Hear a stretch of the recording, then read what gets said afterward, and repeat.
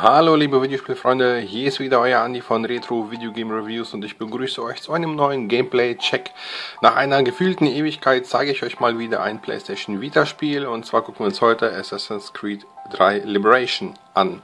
Ich habe die Cartridge schon reingelegt, hier seht ihr auch schon das Symbol, deshalb gehen wir hin und klicken das mal an und gucken uns mal genau an, was es mit Assassin's Creed Liberation denn so auf sich hat. Ja, das erste Assassin's Creed für zumindest die Vita. Auf der PSP gab es ja schon mal eins. Und auch auf dem Nintendo DS. Also Assassin's Creed, die Franchise an sich, fühlt sich ja auf ähm, Handheld-System bereits wohl. So, und ich hoffe, ihr könnt das jetzt relativ gut erkennen. So, Verwendung von Standarddaten für die Anwendung zulassen. Nö, nicht zulassen.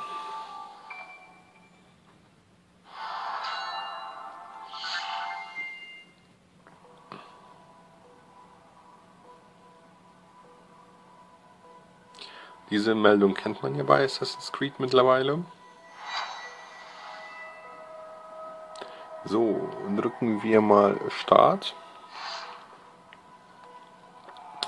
Und gucken uns wahrscheinlich sofort mal den Story-Modus danach kommen. So, neues Spiel.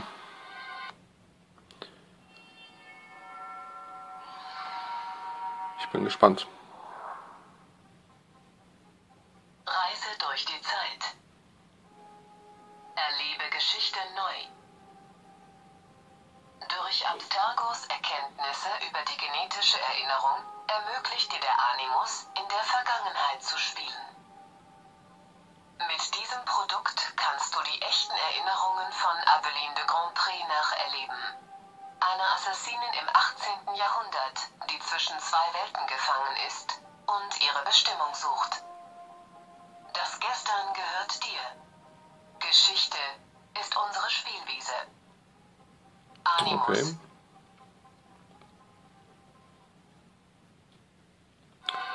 So viel also dazu.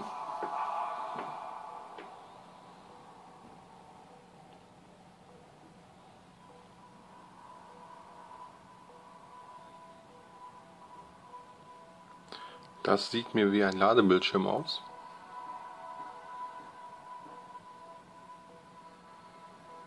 Ich hoffe ja mal, dass der Autofokus bei diesem Spiel gut funktioniert. Meine Kamera hat da leichte Probleme bei Handhelds. Aber wir hoffen jetzt mal, mal das Beste.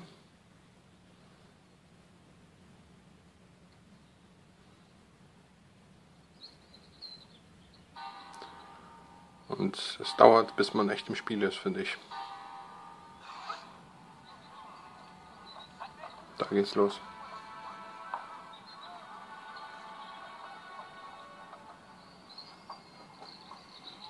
Das dürfte dann die kleine Protagonistin sein. Ein bisschen über das Spiel habe ich mich ja bereits informiert.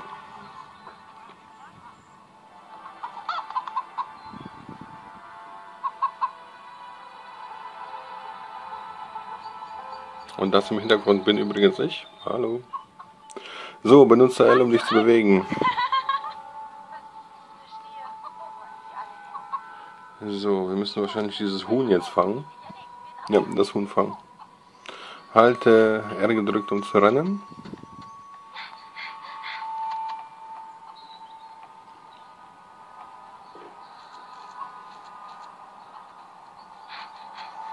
Gleich habe ich dich.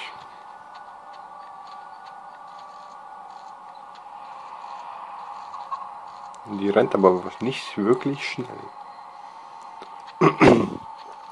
so. Cutscene.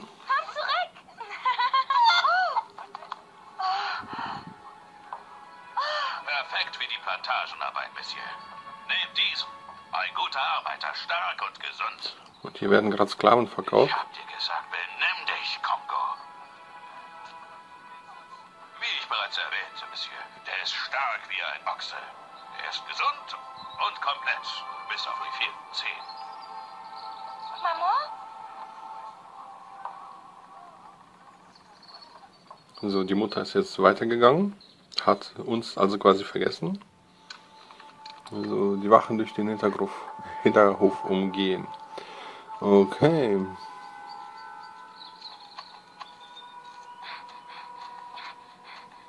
Da geht es nicht weiter, da ist eine unsichtbare Wand. Quasi, also die Begrenzung des Levels. Deshalb gehen wir mal hier lang. Grafisch nett gemacht. Haut mich aber jetzt nicht vom Hocker, muss ich dazu sagen.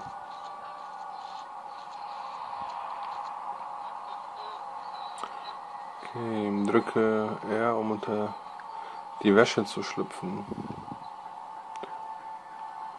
Ah, okay, wahrscheinlich hier. Ja. Okay. Da geht's weiter wahrscheinlich.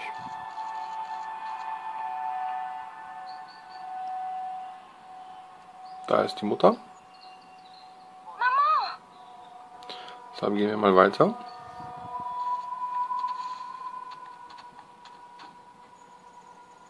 Und dass die einfach so ihr Kind verliert, spricht ja nicht wirklich für die Frau. Interagieren.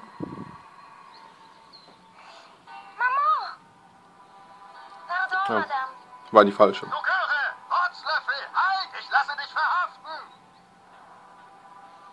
Wieso wird er denn jetzt auf einmal so aggro?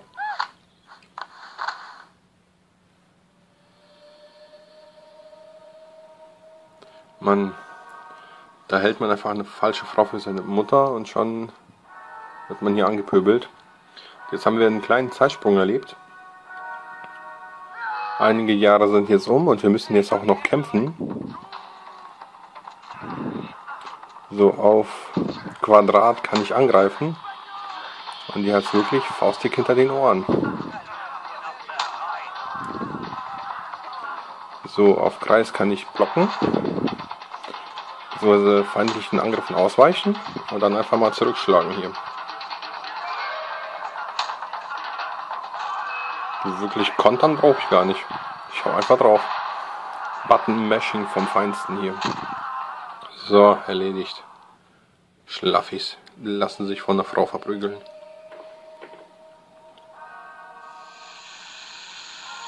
Okay, was hat der denn da? Kam da gerade eine Schlange aus seinem Maul raus? Meine Güte. Okay, schien ein Albtraum zu sein. Ma chérie, du hast wieder geschrien. War es der böse Traum? Oui. Nur ein Traum.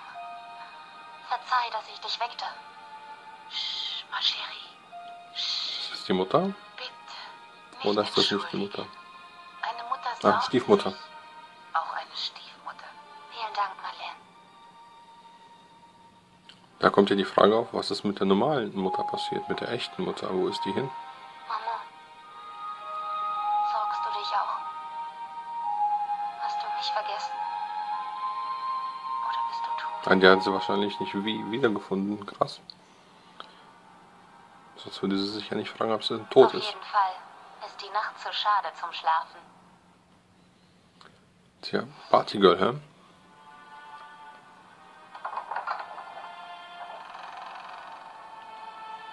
Schnell mal die Schulmädchenuniform rausgekramt. Nein, natürlich nicht. Das ist jetzt das Assassinengewand, würde ich sagen. Tippen.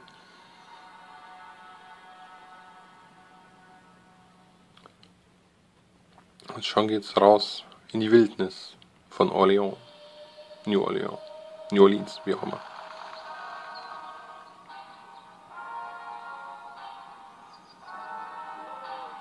Und der lädt oft und recht lang, muss ich sagen. Dieser kleine Animus. Dieses kleine Animuszeichen deutet darauf hin. So. Okay, jetzt kann ich mich zumindest wieder bewegen. So. Zum Taubenschlag gehen. Hier unten wird also das Ziel angezeigt. Und ähm, schnell gehen auf X.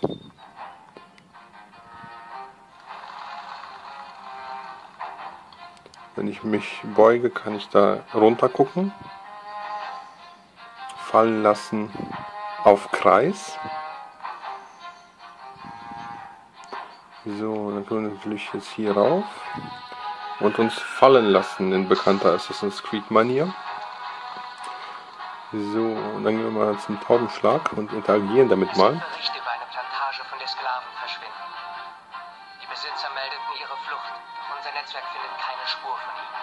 Sklaven gekleidet, kannst du das Rätsel vielleicht aus der Nähe begutachten. Ich habe an einer günstigen Stelle eine Umkleidekammer für dich eingerichtet. Von der Spitze der Kathedrale wirst du sie sehen. Okay, den Aussichtspunkt auf dem Glockenturm erreichen. Dient also auch immer noch als kleines Tutorial und steuert sich wirklich wie der große Bruder. Oder auch nicht. Ich muss mich dann immer so ein bisschen an die PSP, ach, an, an die PS Vita gewöhnen, weil die ja doch was kleiner ist als die natürlich großen Konsolen und auch natürlich als ja, die Knöpfe sind halt kleiner als bei einem herkömmlichen Controller. Deshalb ist das immer so eine kleine Ungewöhnungssache für mich, weil ich auch noch nie so wirklich viel mit der PlayStation Vita gespielt habe. Aber funktioniert eigentlich ganz gut. Noch. Weiß ja nicht, was da noch so auf mich zukommt. So, dann klettern wir mal drauf, folgen diesen Blasen und erklimmen mal den Glockenturm hier. Ich hoffe, ihr könnt das immer noch gut sehen. So. Da geht es weiter. Also das Klettern funktioniert wirklich gut. Jetzt bin ich oben angekommen.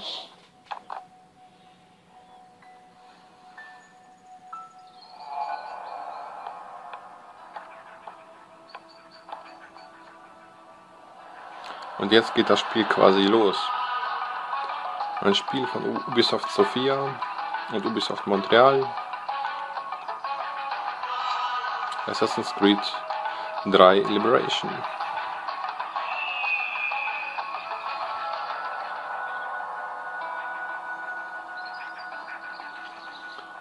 So.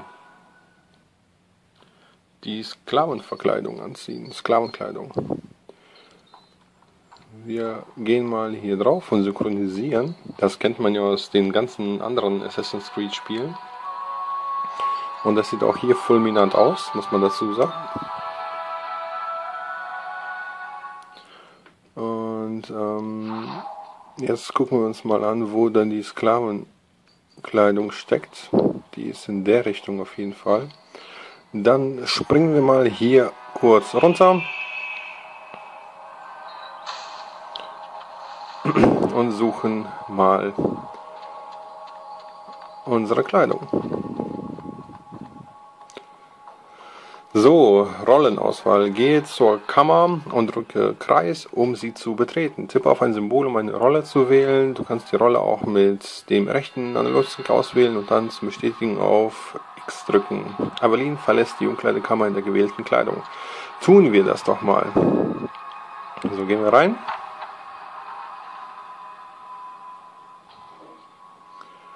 Und jetzt sind wir hier in einem separaten Menü. Also Assassinenkleidung noch nicht verfügbar, aber Sklavin ist verfügbar. Dann ziehen wir uns mal kurz um und betreten als Sklavin wieder die Stadt. Also man hat hier wahrscheinlich mehrere Kleidungen dann noch später zur Auswahl. Die perfekte Tarnung. Versteck dich in einem Wagen und folge den Karren, um den Ort unbemerkt zu finden. So, in der Sklavenkleidung bist du schwach im Kampf, aber du kannst leicht untertauchen und Tumulte anstiften. In der Sklavenkleidung kannst du überall klettern. In der Sklavenkleidung kannst du in Gruppen von Arbeitern, die Kisten tragen, untertauchen. Senke den Bekanntheitsgrad der Sklavin, indem du in beliebter Kleidung Steckbriefe abreißt. Ja, Okay, also ich muss dann hier zu den Stadttoren gehen, als Sklavin verkleidet und ja, das Spiel sieht wirklich Bombe aus, muss man dazu sagen. Hier kann ich euch mal so ein bisschen die Umgebungsgrafiken zeigen und das sieht wirklich nicht schlecht aus. Es haut mich zwar nicht wirklich vom Hocker, muss ich dazu sagen, aber wenn man bedenkt, dass das ein Handheld-Spiel ist und ähm, klar die PlayStation Vita natürlich ein starkes System ist, ist das hier aber schon relativ ähm, ansehnlich und gut gemacht. So, also ich mache mich jetzt auf dem Weg zu den Stadttoren und beende jetzt hier einfach mal den Gameplay-Check zu Assassin's Creed 3 Liberation. Das war die erste Viertelstunde vom Spiel. Wenn ihr mehr sehen wollt, wollt sagt mir Bescheid. Ansonsten diskutiert mit. Ich würde mal gerne eure Meinung zu dem Spiel erfahren. Bleibt ihr beim normalen Assassin's Creed 3 oder greift ihr auch zur PlayStation Vita-Fassung? Erzählt's mir, ich freue mich drauf. Verbleibe aber hier mit den besten Grüßen. Wünsche euch wie immer viel Spaß beim Zocken. Adios und bye bye.